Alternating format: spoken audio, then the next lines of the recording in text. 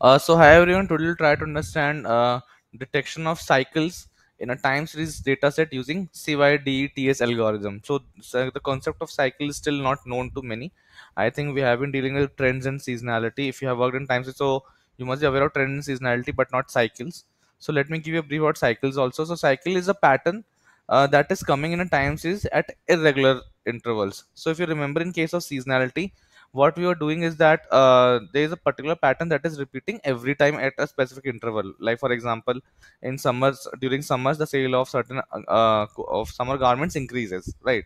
So at every uh, every year every regular interval at a particular point you are uh, supposed to assume you are supposed to see a uh, a trend that is coming that is coming regularly. So that is called as a season seasonality effect.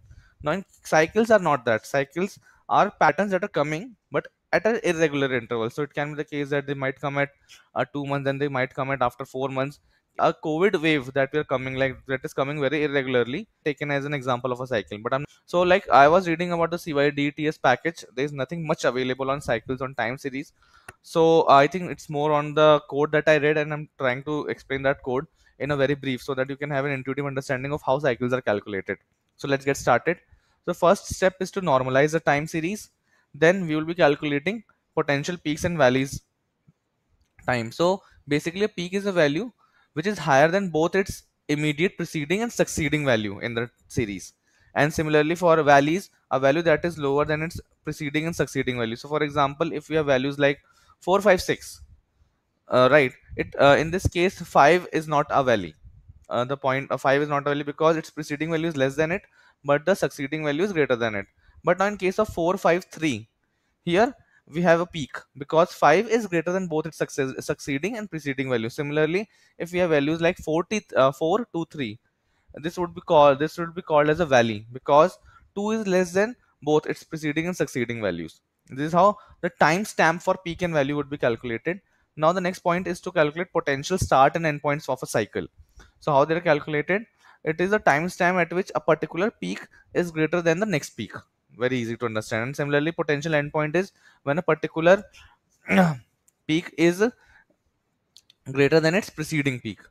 So uh, start point is basically when a peak is greater than a succeeding peak and endpoint is when the uh, when a particular peak is uh, less than it uh, when a particular peak is greater than its preceding peak. I is searching for a pre-cycle.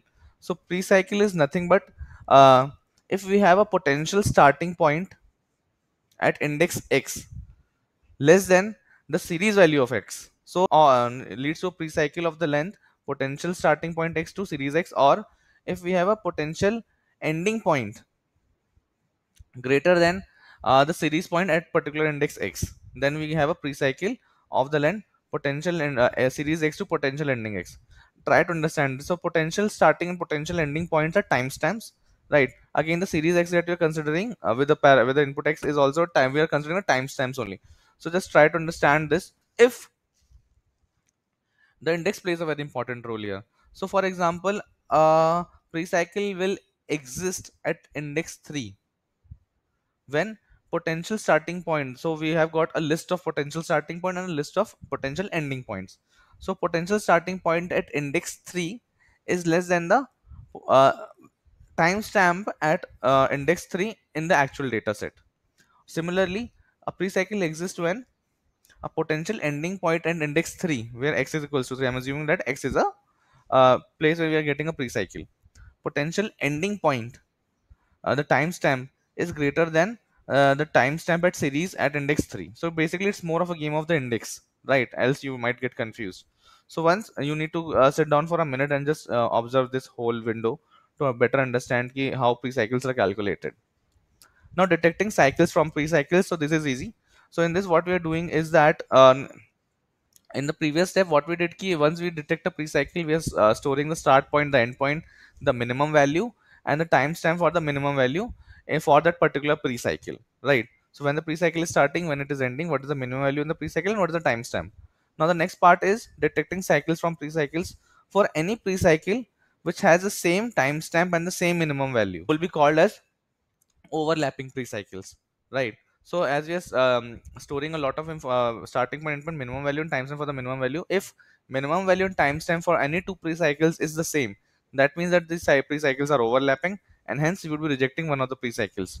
So in this case the shorter pre-cycle will be uh, so in this case uh, the pre-cycle with the latest starting point and the earlier end point right? That means the shorter of the two. Makes sense if you can imagine you will get it so the shorter of the two pre-cycles is uh, is made to stay and the longer pre-cycle is rejected. And this way in this way we get our cycles. So this is a uh, you don't need to implement all this mathematics. There is a particular package called as cydets as i told you earlier from which you can import detect cycles. And then on your time series dataset you can implement this uh, function detect underscore cycle. so you will get an output something like this where t start and t end refers to the timestamp for the cycle t minimum is the value for the minimum value present in the cycle and duration is the length of the cycle